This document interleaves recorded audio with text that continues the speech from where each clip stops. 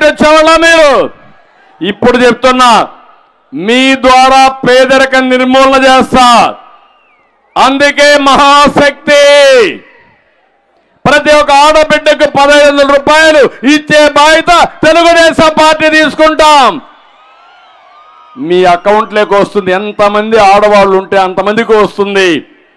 పంతొమ్మిది సంవత్సరాల నుంచి అరవై సంవత్సరాల లోపల ఉండే వాళ్ళందరికీ నెలకు పదహైదు రూపాయలు పంపిస్తాం. సంవత్సరానికి తల్లికి వందనం కింద పదహైదు వేల రూపాయలు మీ పిల్లలకి ఇచ్చే బాధ్యత నాదని తల్లులందరికీ హామీ ఇస్తున్నా. ధరలు తగ్గిస్తాం. ధరలు తగ్గించి మీ ఆదాయాన్ని పెంచుతాం.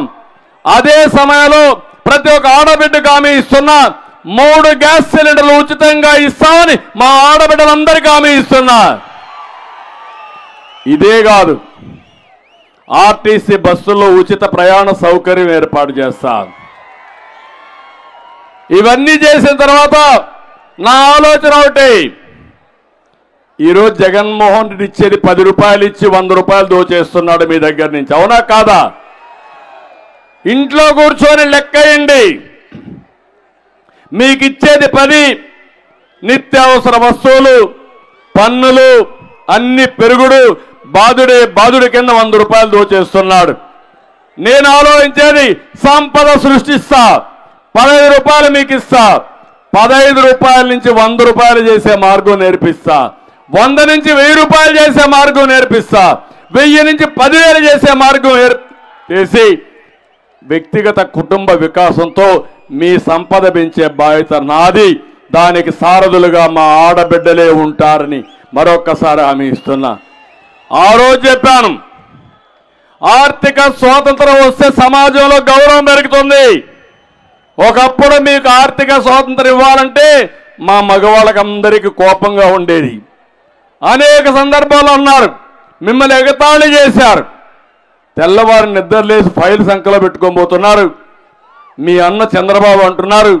ఆయన వచ్చి మిమ్మల్ని కాపాడతారంటే కాదు నమ్మకం ఉందని ముందుకు వచ్చిన మా ఆడబిడ్డల్ని మరొక్కసారి గుర్తు చేసుకుంటున్నాను. ఇప్పుడు మళ్ళీ మీకు హామీ ఇస్తున్నా. నా జీవితంలో పేదరికం లేని సమాజం చూడాలన్నది నా ఆశయం. ఆ సమాజం మీ ద్వారానే సాధ్యం. మీ ద్వారానే సాధిస్తానని మా ఆడబిడ్డలందరికీ హామీ ఇస్తున్నా. ఏమమ్మా డాక్రా సంఘాలకు చెప్పండి. మీరు ఇంటికి ఒకరు బయట రండి. మీరే నా సైన్యం మీరే నా క్యాంపైనర్స్ డెబ్బై రెండు రోజులు మీరు పనిచేయండి మీ రుణం తీర్చుకోవడం నా బాధ్యత అది నా కర్తవ్యం చే చూపిస్తా. చేస్తారా అని మా ఆడబిడ్డలు అడుగుతున్నా. గట్టిగా చప్పట్లు కూడా చెప్పండి చేస్తామని.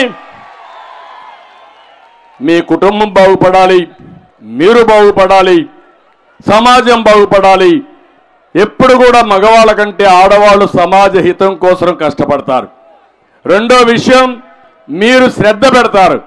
శ్రద్ధ పెడితే ఏదైనా సాధ్యం అలాంటి నా ఆడబిడ్డలు దీన్ని ఆలోచించాల్సిందిగా నేను కోరుతున్నా. ఇంకో పక్క ఈరోజు జగన్మోహన్ రెడ్డి విర్రవీగుతున్నాడు. ఎంచోపు మాట్లాడినా విశ్వసనీయత గురించి మాట్లాడతాడు. ఒక్కసారి వీడియో చూద్దాం.